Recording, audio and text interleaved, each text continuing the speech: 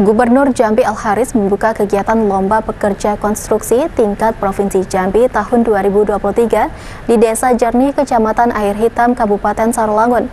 Lomba yang diikuti Dinas PUPR Kabupaten Kota seprovinsi Jambi ini diharapkan dapat menghasilkan tukang yang handal, tukang yang dapat bersaing dan punya kompetensi.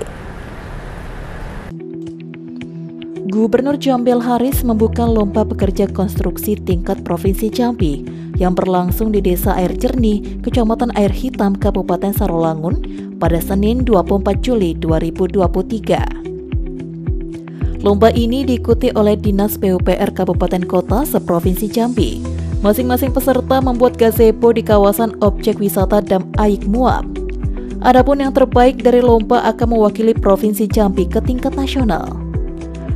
Dalam sambutannya, Gubernur Al-Haris sangat mengapresiasi kegiatan ini untuk mengasah keterampilan pekerja konstruksi.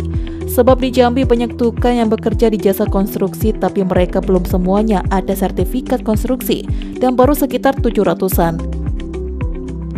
Untuk itu, Gubernur Al-Haris berharap lomba pekerja konstruksi tersebut menghasilkan tukang yang handal, bisa bekerja dengan baik dan menjawab tantangan di bidang konstruksi.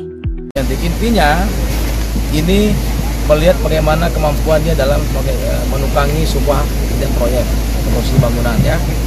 Kan kelihatan lurus tidak matanya. Semuanya seperti apa kebalannya dan terakhir lihat fisiknya seperti apa. Indah apa tidak? Kan kalau dia memenuhi estetika keindahan berarti dia bagus bagi pekerjaannya. Lalu cek lagi eh, model pasang bata dan sebagainya. Lengkap. Airnya kelihatan bahwa ketika tukang itu berkualitas maka aduannya akan pas dan termasuk akhirnya SDK-nya pun akan bagus.